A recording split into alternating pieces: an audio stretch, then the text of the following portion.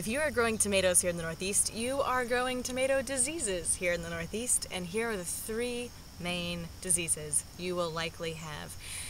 Late blight, early blight, and septoria leaf spot, and I now will share the key diagnostics to know so you can identify them. So first and foremost, late blight. Late blight has a very fun Latin name, Phytophthora infestans, which marvelously translates to all-consuming plant destroyer, which is quite apropos. If you get late blight, a week later you might have a black, oozy mass of what used to be a tomato plant, and you won't be harvesting any more tomatoes.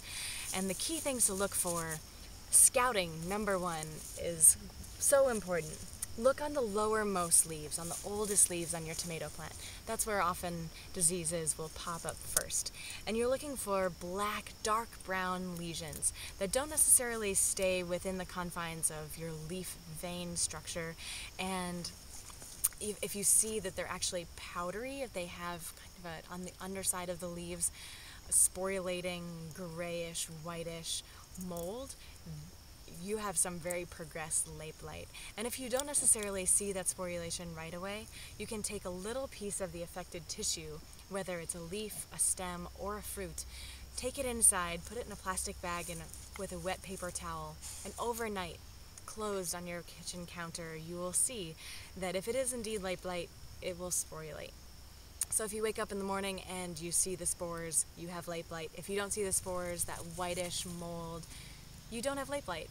Great news. If you do have late blight, you need to go to your garden, pull up the entire plant, shove it in a plastic bag, close it tight, and ship it off somewhere, anywhere. But make sure you close it so you're not spreading the disease all over the countryside.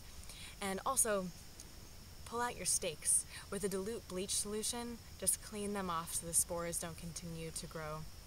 And the good news is twofold. You can still save seeds from any mature fruit that's on a plant that has late blight, and you don't have to worry about it overwintering in the soil. Late blight only survives the winter on living tissue, and no part of a tomato is going to survive the winter. Um, and your potatoes, I'm pointing at our old potato field, covered in cover crop by the way, your potatoes are very closely related to tomatoes. And so if you, late blight can go between potato and tomato crops easily. So although it won't survive the winter on your tomatoes, they may on your potatoes. So especially if you identify late blight on your potatoes, be sure that any volunteers that may come up the next season are promptly put in plastic bags and shipped off as well. There's another kind of blight that we have commonly here in the Northeast, early blight. And that looks very similar, but here's the key difference they will have concentric rings in those dark brown blackish lesions.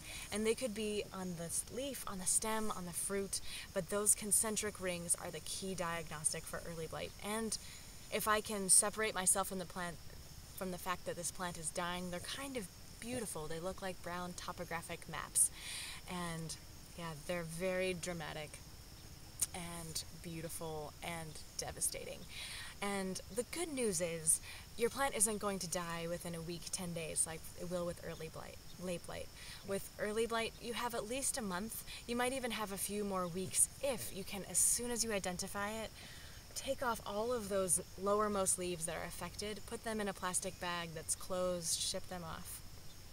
And if you can effectively remove those plant tissues soon enough, you'll have a few extra weeks but the inevitability of that plant's mortality is on the horizon.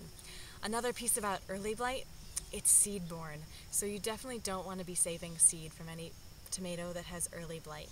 You can technically save them, and if you can hot water treat them, they'll be just fine. But hot water treatment is this whole scenario, and for just your backyard home scale seed saver, just don't bother saving any seeds from your plants that have early blight.